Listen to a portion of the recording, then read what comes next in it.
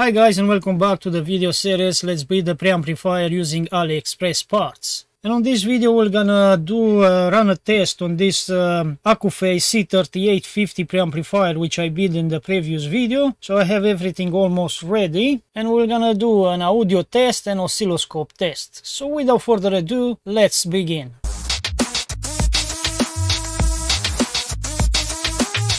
So to run the sound test I'm gonna use my class A amplifier which I designed by myself so it's a schematic uh, invented by myself. I really like the sound of this one, sounds really natural so that's why I choose this amplifier to run the tests. So first test it will gonna be putting the signal just on the amplifier and then we're gonna use the same uh, sample sound putting the preamplifier on the top of the amplifier to see if it's changing anything. So how you can see here I already set up the speakers on the front of the microphones and here we go in the table everything is power on so let's play a sound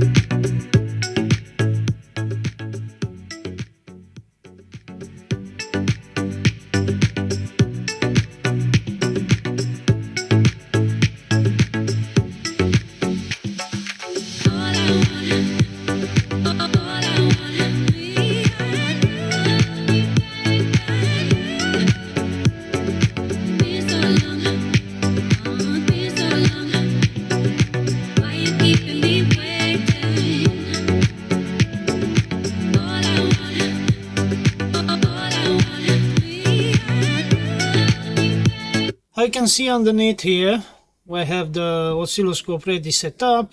The preamplifier is here is power on with the dual 15 volts and we are drawing a current of uh, 60 milliamps in total and uh, this is the output which is connected to both channels on, on my oscilloscope so yellow is one channel and uh, red is the other channel. Then I have a signal generator connected on the input over here. You can see if I touch here it should uh, give me some signal. That is not giving me. But anyway let's turn on the signal generator.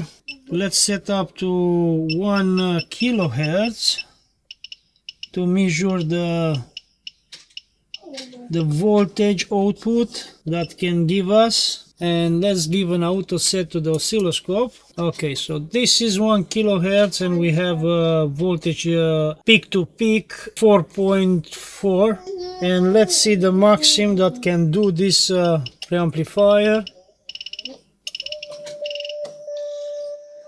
By the way as a load resistor I have 50 kilo ohm potentiometers over there so let's increase until we find the clipping. So I can see there is the clipping.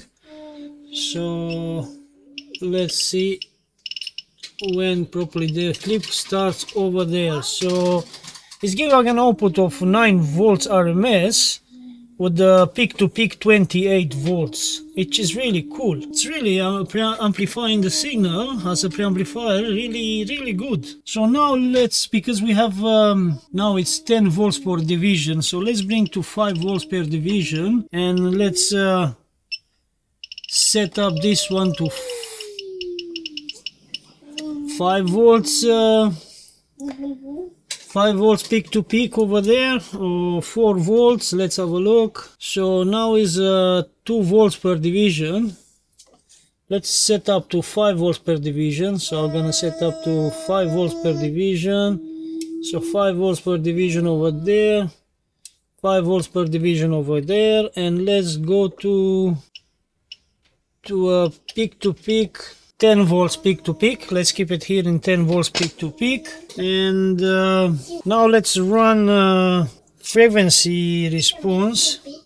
So I'm gonna back down to 20 hertz. Let's start with the 20 hertz. So an auto set over here at 20 hertz and at 20 hertz we have uh, let's bring it down to exactly 10 volts peak to peak Okay, so here we have the same uh, 10.20 peak to peak, so 10 volts 20 peak to peak, and we're gonna start with the 20 hertz, and we're gonna look to the peak to peak voltage to keep it the same up to maximum uh, audio frequency range. So let's go to increase the frequency. So 30 hertz, the same, 40 hertz, the same output. 50 Hertz, the same output, 60 Hertz, the same output, 70 Hertz, 80 Hertz, 90 Hertz, 100 Hertz, and looks like until here is uh, everything flat. I'm gonna go with an auto set, and now let's go up to 200 Hertz. The output is still flat. 500 hertz still we have the same output. This means it's really good ampli preamplifier. I really like how it's uh, doing so far. 600 700 800 900 1 kilohertz. And still we are in the flat zone. 2 kilohertz 3 kilohertz looks like it's a bit uh, one channel channel 2 looks like uh, it's losing a bit of uh, amplitude. 4 kilohertz 5 kilohertz. Let's do an auto set and we are still in the same range over there. And let's increase 6 kilohertz 7 kilohertz and uh, output is still flat. 9 kilohertz still flat.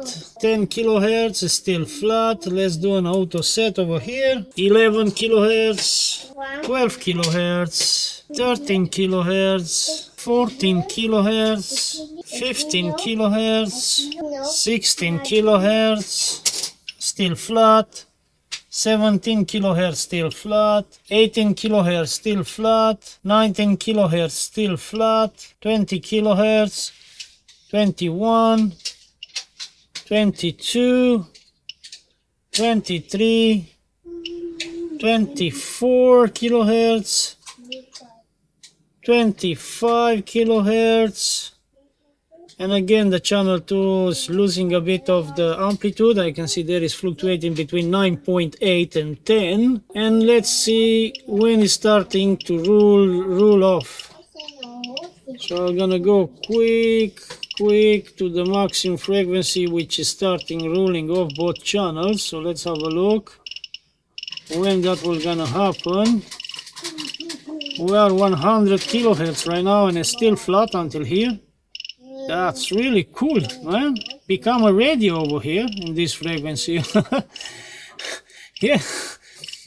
I never seen... Uh, ah, this is my little boy over here next to me. I think start ruling off both channels. Yeah, see? Both channels start rolling off so a preamplifier which keep it flat up to this frequency yeah you can see there is 280 kilohertz. I'm pretty sure it's a really good one. Yeah i'm really happy with how this performed. From all the preamplifier from this video series which i built i find this one the best performing one. Also in the sound on my ears i feel that the put more details on the sound so you can feel the details of the sound better than the other ones. So i don't know let me know in the comment down below what do you think about the sound. Did you find any difference between when i injected straight away to the amplifier and uh, if there is any changes when i connected this one on the front? Yeah please let me know in the comment down below what do you how you feel the sound. Is there is any changes on it? I want to know also from you guys. And definitely i'm going to choose this one for my final project. Just now i need to find uh, because the case that I want to use for this one has uh, potentiometer for mid, for bass and for uh, highs to tone control. So I need to find a passive one like that I can put in the front of the preamplifier because this preamplifier amplify a lot the signal. So definitely through the tone control we're gonna lose some uh, dBs on the signal, but this one you're gonna be able to boost it back because uh, as we can see 28 volts peak to peak. It's really really good. So yeah if you are interested on uh, all the tools that I use in this video check the links on the description down below. I'm gonna put everything from the oscilloscope i use from the power supply which i use and uh, from the um, signal generator which i use for this one and also the kit itself the link you're gonna find in the description down below. If you enjoyed this video don't forget to give me a like Please subscribe and activate the notification bell to don't miss uh, my next videos when I'm gonna start uh, putting on the chassis all the parts to build a proper preamplifier. And until the next video guys, have a good day and bye bye!